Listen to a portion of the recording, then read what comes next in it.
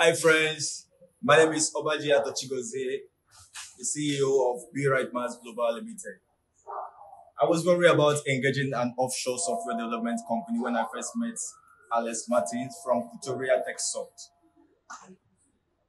Though I've worked with other offshore software de- development company before and have never been satisfied with the result. That is uh, delay, low quality, etc.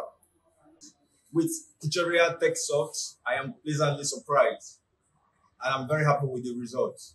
The quality of work is good. We communicated with them twice a week. They even completed the work ahead of schedule.